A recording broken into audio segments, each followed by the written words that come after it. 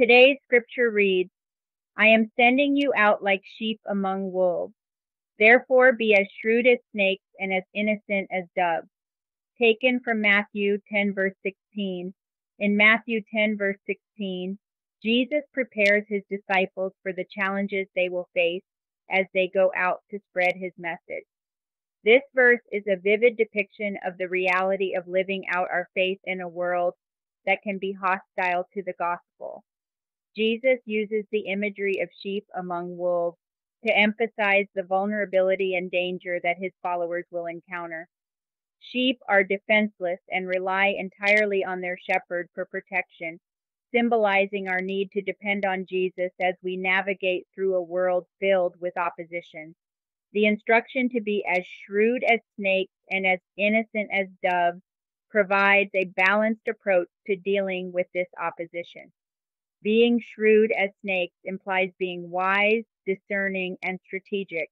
It means we should be aware of the challenges we face, understand the environment we're in, and act with wisdom and prudence. This shrewdness helps us to avoid unnecessary danger and to find effective ways to witness and serve.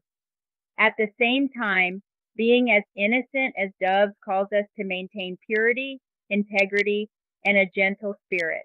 Our wisdom and shrewdness should never compromise our moral integrity or lead us into deceit or manipulation. We are to reflect the love and purity of Christ in our interactions, ensuring that our actions are above reproach. Consider the environments where you live out your faith, your workplace, school, community, or even your family. Reflect on how you can embody the wisdom of a snake and the innocence of a dove in these settings? Are there ways you can be more discerning and strategic in sharing your faith?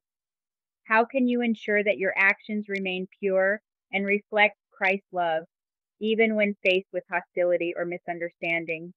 Think about specific situations where you might feel vulnerable or challenged in your faith. Pray for wisdom to navigate these situations shrewdly and for a heart that remains pure and innocent. Engage in regular self examination to ensure that your actions align with the teachings of Christ and seek guidance from God and trusted fellow believers when you face difficult decisions. Dear Heavenly Father, thank you for the wisdom and guidance found in your word. I come before you acknowledging the challenges and opposition I may face as I seek to live out my faith. Help me to navigate these challenges with the wisdom and discernment you call for, being as shrewd as a snake. Grant me the ability to see clearly and act wisely in every situation. At the same time, Lord, I ask for a heart that remains pure and innocent, like a dove. May my actions and words always reflect your love, integrity, and holiness. Help me to maintain a gentle and loving spirit even when faced with hostility or misunderstanding. I rely on you, my shepherd, for protection and guidance. Fill me with your spirit so that I may be both wise and innocent, effectively witnessing to your grace and truth in a world that often resists it.